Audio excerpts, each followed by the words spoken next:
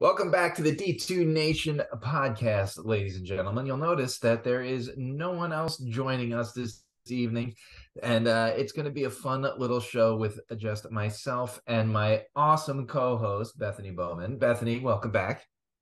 Thanks. And I totally expect the viewership to be down this episode because no one likes to listen to you or I way, and they're all about the guests. But, you know, with the bracket coming out for the Division Two football championship. We're going to break it down a little bit, give our guests some time to prep for the next upcoming weeks and get ready for that. So let's get right into it.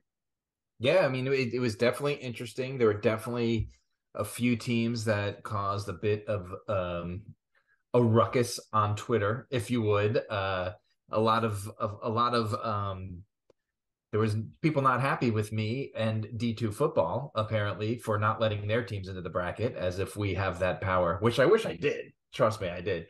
But um, you know, there definitely were some some question marks. We could go through it region by region and, and talk about, about like some of the surprises and and some of the things as we go through that. But um, I think you know when you've been doing this as long as I have, and when you've been around it as long as you have, you learn to celebrate the teams that make it there right? And that's what we're doing here. We're not here to really talk badly about the selection committee or or talk badly about the teams that didn't make it, but just really focus on the teams that did and, and what's going to happen over the next few weeks. Yeah, and you know, that's the interesting thing too, especially about this playoff format. You know, people complain about Division One and FBS and, and how they do it.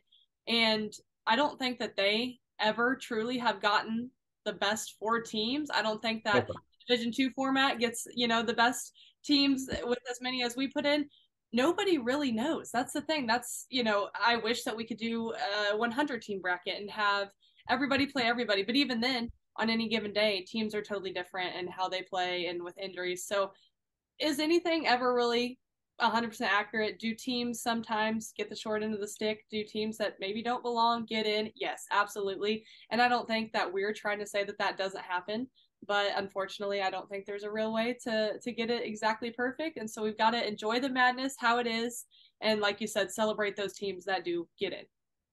Yeah no i 100% agree. And um you know um a couple cool things you know we we talk about like the other teams that get in there but then you do have the Northwest Missouri State, you know, sneaking in. They definitely needed some help. Unfortunately, sorry, Bethany, it was, it was beating your team that that helped. That that's really what got them in there was beating Emporia State.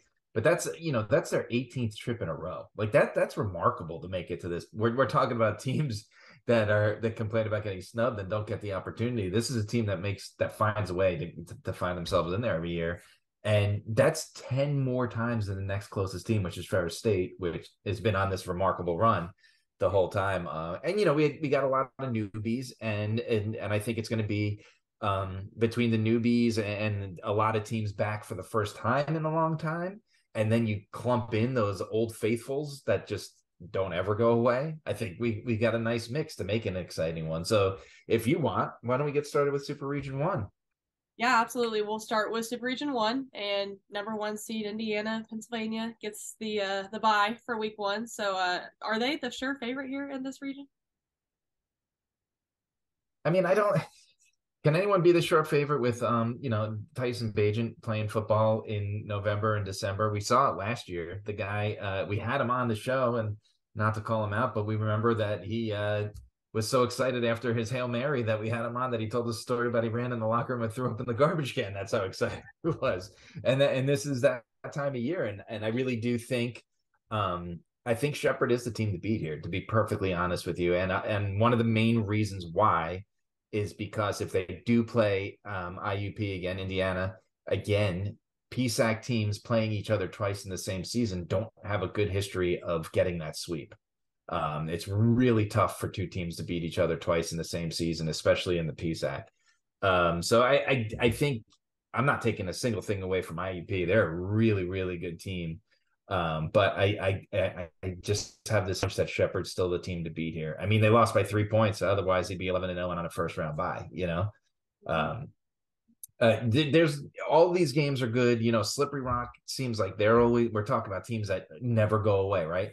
Slippery Rock never goes away. They're in there every year. Uh, Notre Dame, Ohio, they're there every year, you know, and, and, they really had to prove it. They really had to work their way back this year. Usually they just kick butt and get in there. New Haven was in it last year. Assumption's a nice little return. It's been a few years for them, and same with Ashland. And I think that Ashland and Notre Dame game is really interesting in the first round. That's the game I'm watching because it's a rematch of the first game of the season when nobody knew where who, really who Ashland was. They were a sleeper. They were good, but they came out and they pretty much smoked Notre Dame, you know, and, and, Notre Dame was short a little bit on personnel with injury. And that's totally, uh, you know, you can't fault them for that. But Ashland controlled that game and it set the tone for this like breakout season that kind of took everyone by surprise. And I just said it's hard to beat someone twice in the same season that, you know, is Notre Dame, Notre Dame clearly remembers that loss, right? So it, it's going to be, I think it's going to be a first round matchup. Um, what do you think? You, are, you, are you putting your eggs in the Tyson Bagent basket? You know, I always like to go with uh, you know guys that we've got to talk to personally because I, I just feel more connected with them. Obviously, you know how they're thinking a little bit, and uh, we've seen the player that he is.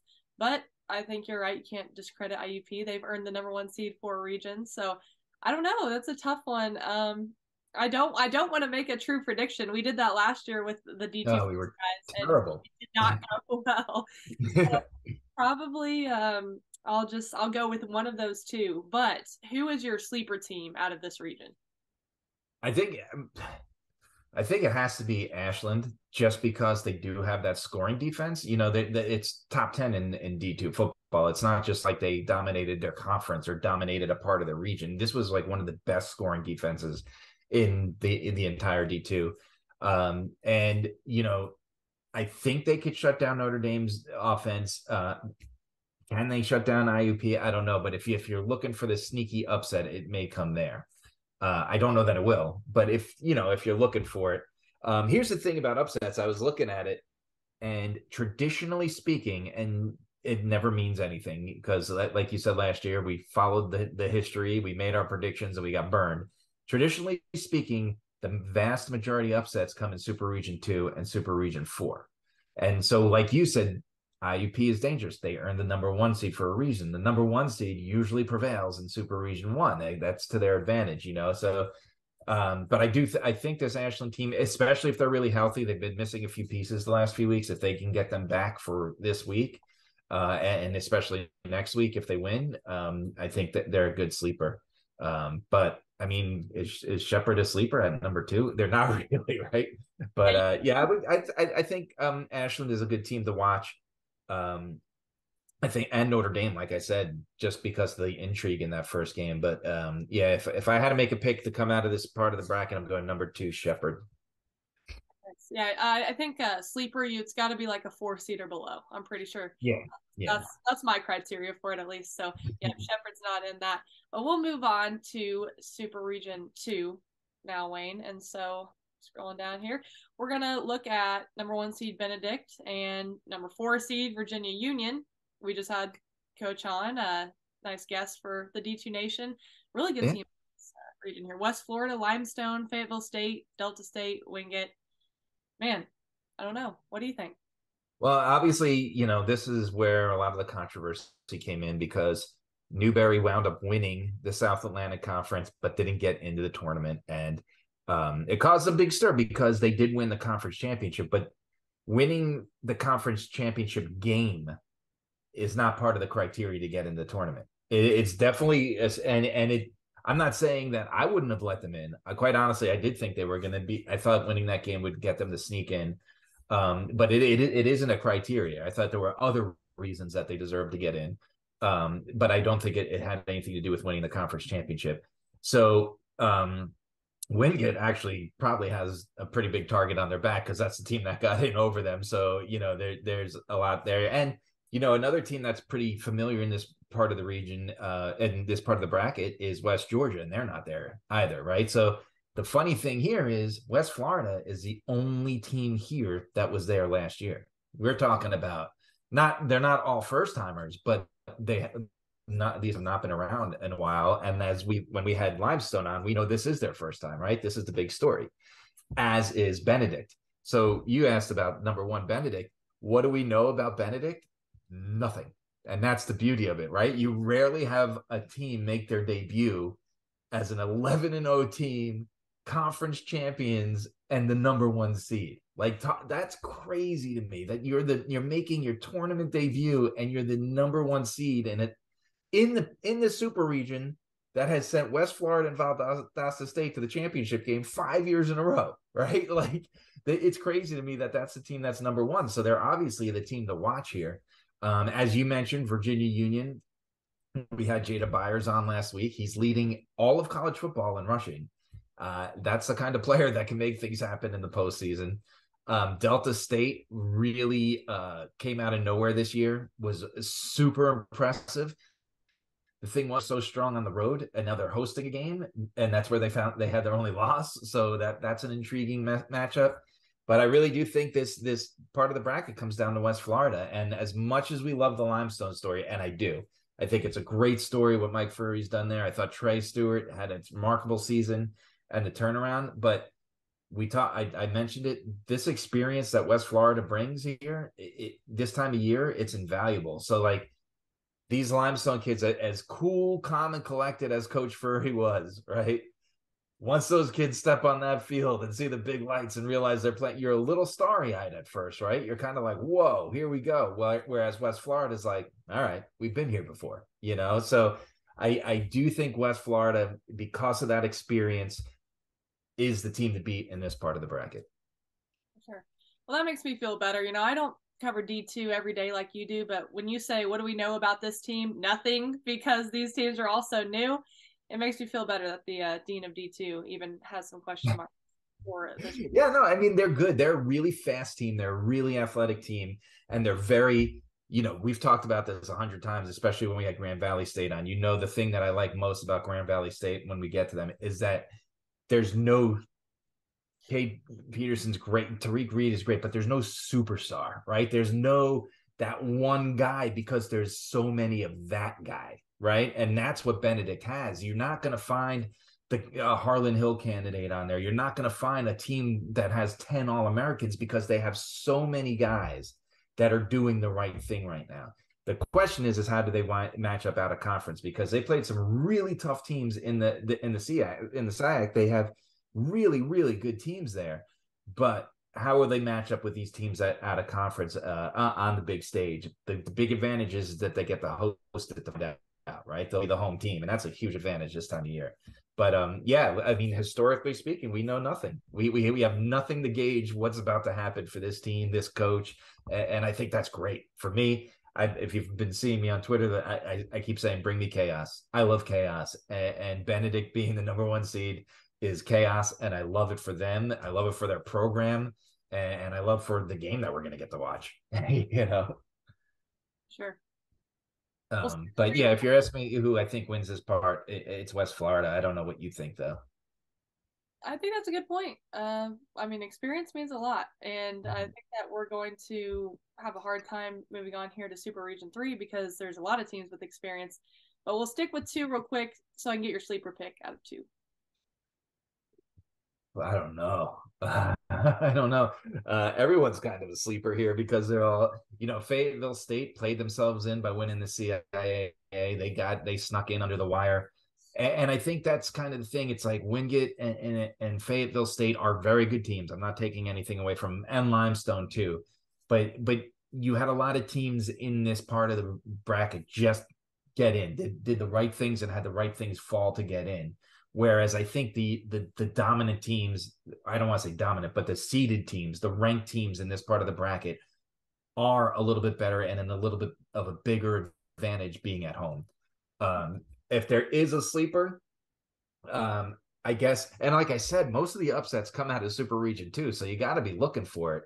So I guess if there's a sleeper, I would go with Fayetteville State because they are so the least likeliest team uh, in these first round matchups to me to pull off a win against the Delta State team. So that would make them the intriguing sleeper because if they pull it off, holy cow, it's like when West Florida went down. Remember, we had Newberry on the week after that they went down. Nobody saw that coming, right? Nobody saw that coming. The difference is for me, sorry, I'm rambling a little bit here, but the difference for me is Newberry was very, very good last year. But because they played in the South Atlantic Conference, everyone in the South Atlantic Conference knows Lenoir-Rhyne, right? That's the team. They know Wingate. Newberry had two great defensive backs, and they made Austin Reed struggle, which nobody else in D2 really did. I don't know that Limestone has the weapons to do that. I don't know that Fayetteville State has the weapons to do that. But if you're asking me who the ultimate sleeper is, the biggest surprise to me that would come out of this first round would be Fayetteville State. Okay, I like it. Uh, I said four seed or below, so I'm gonna go with Virginia Union because Jada Byers is really good. So yeah, I like him too. okay, so Super Region Three, and like I said, that's where we get probably the most experience, the most familiar kind of names, and you know, getting into the tournament, you have to earn it. But you know, sometimes I think, like you said, Northwest Missouri State, they earned it, but 18 times. I mean, doing something like that, the name means something. Grand Valley State, obviously, a lot of postseason runs. That means something. Ferris State, they are the defending national champions. That means something. So you've got a really, you know, just a lot of notoriety here in this region. But number one, Grand Valley State. Number two, Ferris State, and then Pittsburg State out of the MIAA, like that. Uh, number three, and then you've got also in this region UIndy, Northwest Missouri State, Ouachita Baptist, Davenport. Pretty good region. Yeah, yeah. Um, I'm a, I'm a little surprised. I thought Truman might make it because Davenport's very good, but I, I, thought losing the Grand Valley State and Ferris State the last two weeks of the season may resonate in in the recency bias of the of the selection committee and maybe bump them and let Truman in. Uh, but it didn't do that. Davenport has a rematch. Bethany, you said you don't cover D2 football every day, but let me ask you a question. What do you think would having to play Ferris State twice in three weeks? Oh, I would hate it. Yeah, no, I, I yeah. wouldn't like that at all. It's not a good matchup. I said it's hard to beat a team twice uh, in the same season. Um, Ferris State obviously beat Davenport very uh, handily the first time two weeks ago. And I just don't think Tony Annese is the kind of guy that is gonna give up, you know, more than he more than he has to. And I think he's ready for this game. Um, and, and, unfortunately for Davenport, I think they got a really tough draw in the team that they have to play. Um, you know, but that being said, every year, you know, we even before we started the show, you know, you we we've discussed it before. This has been the Ferris State part of the bracket, but it's not this year. It's Grand Valley State. They they this team has we had them on the first week of the show. They've beaten ranked teams. They've beaten Final Four teams from last year. They beat Ferris State. It was 22 21 when you could win games like that against the defending champ. That says a lot. That that calls your guts in the question, that calls your moxie in the question, and they did it. And I mean, they're they're probably too deep on special teams. That's how ridiculous this team is, right? They got they have special team players that would maybe not be, you know, they would be starting on every other team that are probably on the bench on this team because they're that deep. Um, I just think this is uh, it's weird to say that it's not Ferris State's uh, re- part of the bracket this year, but if all goes planned, hopefully we do see that Ferris State and Grand Valley State rematch uh, in the in the Super Region Three finals. Um, but you know, this is kind of your neighborhood. What do you think? Seeing Pittsburg State here, um, you know, one-time national champ of, just not too long ago. I mean, it must be cool for you to see a couple teams in there going at it. Yeah, absolutely. Um, the MIAA was kind of messy, like you said. Uh, Pittsburg State finishes undefeated, so obviously really deserves to be in. That's so tough to do in the MIAA. Um, Northwest Missouri State, like you said, had to beat Emporia to get that berth, which uh, again, you know, hats off to them. They they've earned it with 18 straight trips. That's awesome. Emporia State is going to a bowl game, so I'll settle for that. But you know, the thing, and I don't, man, I hope hope our MIAA followers don't really watch this, but the MIAA might they might be a little down this year. The MIAA and, and I hate saying that because I think the standard for me is like those years that Northwest Missouri State won all those back to back titles. Nobody was touching that team. I don't care yeah. who it is. Like that, it was the defense, even the offense. It was just unbelievable. And so that's like, that's that was kind of my first like, oh my gosh, like this is how good the MIAA is. And so now, you know, watching some games and you know maybe it's because you know i'm just i've been around it so long that my expectations are just getting high but i just i just don't think it's quite to that level this year so um i think pittsburg state northwest missouri they have their work cut out for them to make a little run um, which normally i would say the opposite but i think you're right. I think grand valley state i think ferris state this year probably probably set for a rematch. I do think and this is weird to say this right? I do think northwest is a sleeper here. I mean, they're not ranked. And what they we've seen in the past, in the past, I think it's the two straight or, or two out of the last three, is I agree with you that the the MIAA was weird this year, right? Like there there was a lot of balance.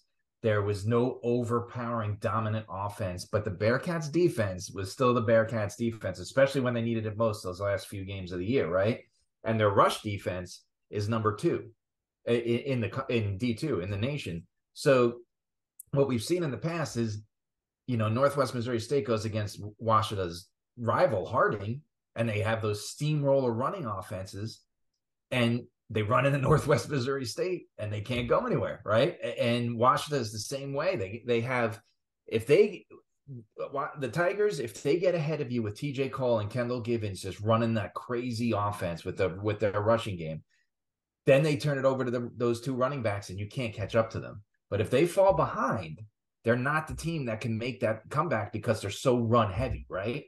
And that's what Northwest has been so good at, especially Rich Wright as as that defensive mastermind has been so good about, about taking out those run heavy um uh run heavy offenses. Am I saying Northwest is walking through and beating Ouachita? Ouachita Baptist is 11 and 0, right? They're the number four seed. That just says something about Super Region 3 when they're 11 and 0 and they're the number four seed, right?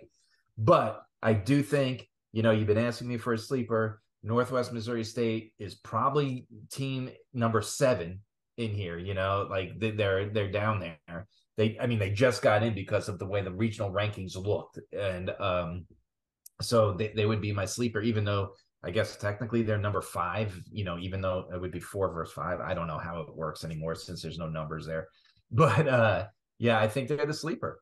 Um, I don't know about you, but that, that that's kind of the way I look at it. I would pick Pittsburg State as my sleeper, but they're a three seed, so I, I can't really do that. But uh, I don't know.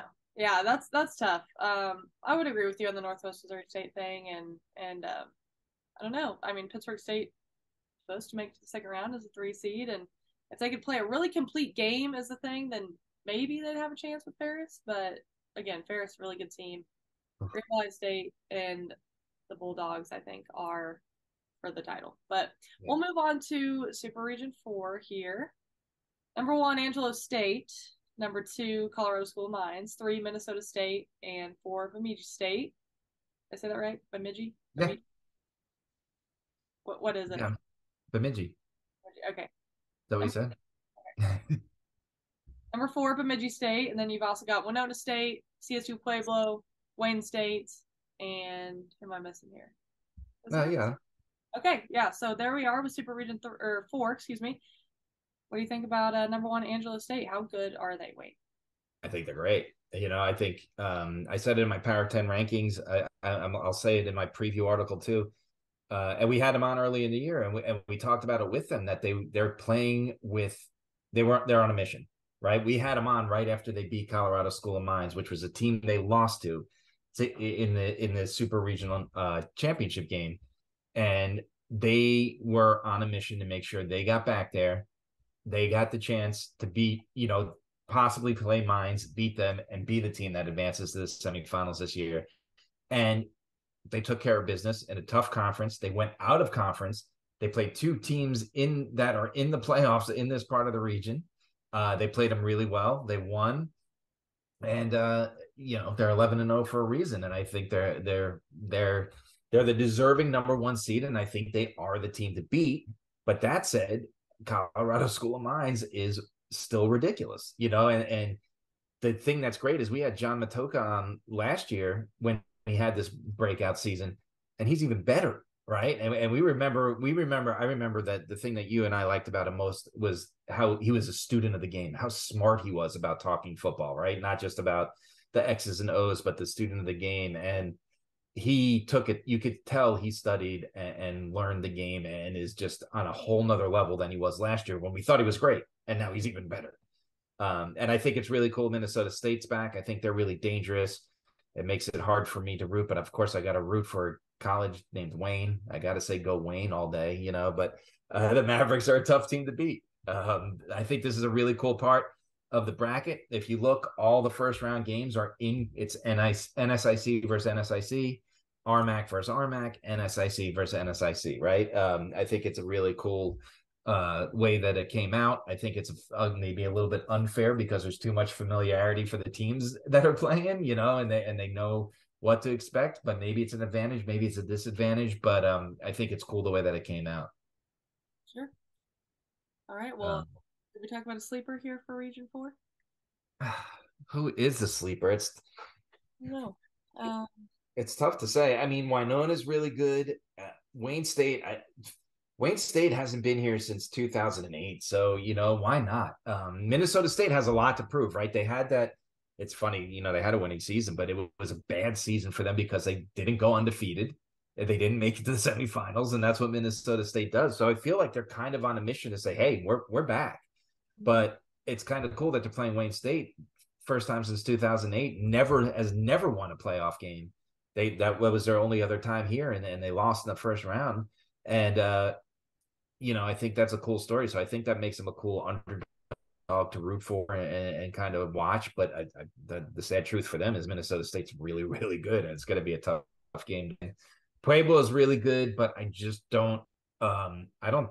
I don't think there's maybe three or four teams that could be Colorado School of Mines in the country. They have two losses, and it's the Angelo State and Grand Valley State, and that's the one and two team in the country. You know, like uh, so I, I think, uh, yeah, I think unfortunately for Pueblo, they just got their hands full. And, and Bemidji State, that offense, you know, remember I took a lot of heat because I picked them to go to the semifinals last year on the prediction show with the, the D2 football guys, and they did make it out of the first round, but they didn't make it much further. But um, I think they they uh, they may have learned lessons from last year, and I think they get out of the first round. So that I guess to me makes Wayne State kind of the sleeper team to watch. All right. Well, there you have it from the dean of D2 again. I appreciate your expertise because I, I don't know these teams quite as much as you, quite in depth, probably not even close. But that's okay because I'm just here to name off the teams. You give the info, and then we're gonna see how it goes, and it'll probably be all wrong. Yeah, yeah. We'll, we'll meet up in a couple weeks and talk about how badly how badly we did. well, thanks. Uh, I appreciate it, and thanks to everybody for listening today. Yeah, and don't forget we'll be back next week with a couple guests and give us a listen, give us a follow, and we'll see you next week on the D2 Nation.